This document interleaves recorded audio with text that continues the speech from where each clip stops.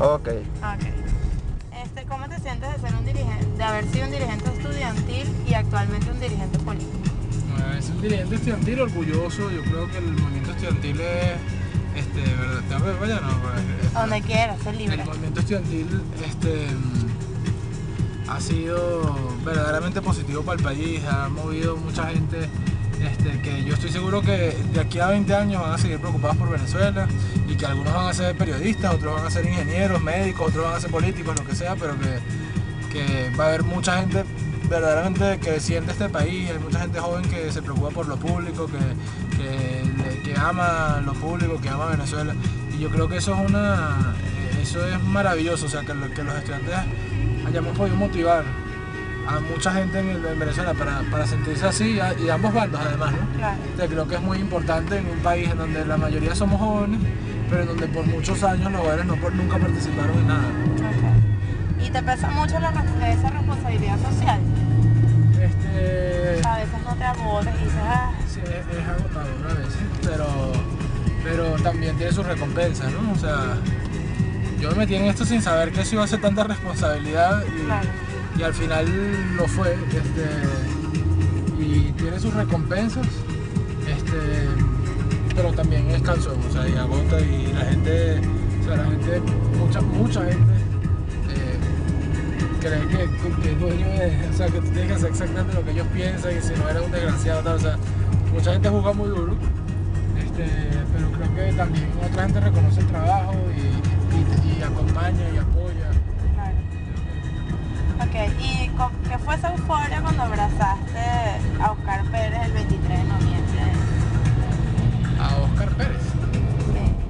Me dijeron por ahí. Es raro, ¿no? Bueno, o sea, Mira, no, no, ¿y qué pero, se pero no sé, me imagino que estaríamos felices, ¿verdad? Ok. La Pérez trabajó. la mira, ¿y qué se siente ser el deseo de las doñas del cafetal? Como la que te acabé de saludar ahorita. Este. Es chistoso. ¿Sí? ¿No te pone nervioso? No creo que sea el deseo de las doñas, pero. Bueno, no, las doñas lo que pasa es que están preocupadas por el país y, y ven en ti una esperanza. Una esperanza, claro. Mira, ¿y te consideras gordo? Sí, ¿Sí? ¿Y has estado borracho? claro. ¿Y cuándo fue tu última raja? ¿Cuándo fue mi última rasca? Oye, la verdad no recuerdo. Ah, creo.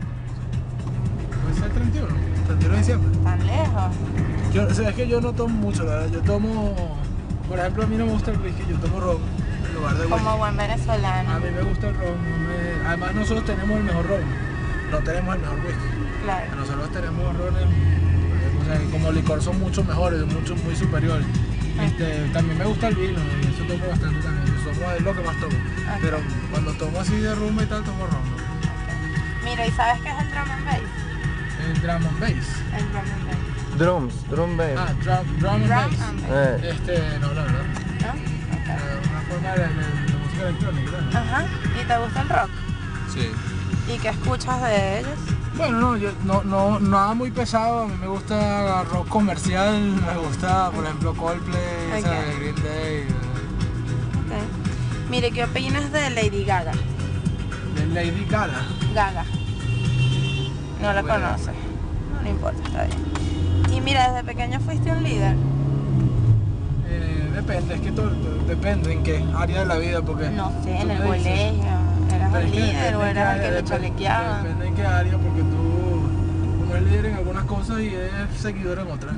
O sea, la, la gente es líder, hay, hay gente que es el líder de la rumba, por ejemplo. Ok. ¿sabes? ¿Y tú eras el líder? de la- No, en lo absoluto. en lo absoluto. Mira, ¿y cuál es el primer síntoma que siente uno cuando es líder?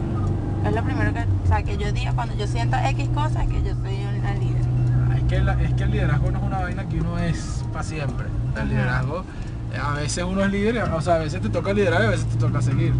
Yo creo que todos los seres humanos hemos tenido la experiencia de liderar algo alguna vez, Ok. este, así sea pequeño o grande, pues ¿no? la gente ha liderado, desde- o sea, tú lideras desde organizar a tus panas para el cine hasta una marcha eh, por, por- por los derechos humanos, o sea, pero en todo caso todos hemos sentido, este, liderazgo para mí es iniciativa, este, iniciativa de organizar, la iniciativa de organizar gente. Y este, si tú me preguntas, el liderazgo político es transformar. o sea, el liderazgo político es potenciar el talento de otros para que hagan, para que tomen rol en la sociedad. Ok. Y mira, ¿qué has escuchado decir de ti en tu universidad? De todo, De todo. de todo. ¿Qué tan malo así han dicho de ti? Malo de todo. Cualquier bueno, cosa que me bueno pueda- algunas cositas también. Ok. Mira, ¿y te la pasas metido en Facebook? Nunca. Seguro. No. Ni siquiera tienes un perfil ahí. Sí, tengo un perfil. Tengo Pero- un perfil y lo uso, lo uso de trabajo. Ok. Y mire, ¿qué prefieres? ¿El béisbol? Tengo dos Facebook, tengo uno con 5.000 miembros y el otro como con 4.000. Ok. Este, el de 5.000 me lo hackeó el gobierno y, tengo, y lo maneja mi hacker, Ok. quien además me ha escrito. ¿eh? Y el otro, el otro lo, sí lo manejamos, pero lo uso para trabajo. Ok. Pero nada personal, así que controles culitos por ahí. No, no, yo estoy casado. Bueno, pero nunca sabes. Mira, ¿y qué prefieres? ¿El béisbol o el fútbol? El béisbol. Ok. ¿Y vas a seguir estudiando? Sí, quiero hacer un posgrado,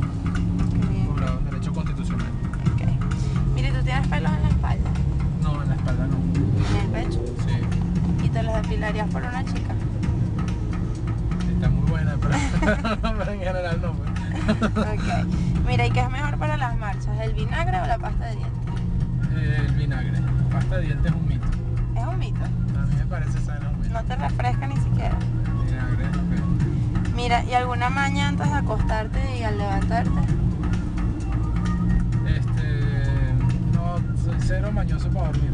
Hay dos cosas que a mí jamás se me quitan. O sea, y, y siempre lo hago, siempre duermo bien, siempre como bien. No importa lo estresado que esté.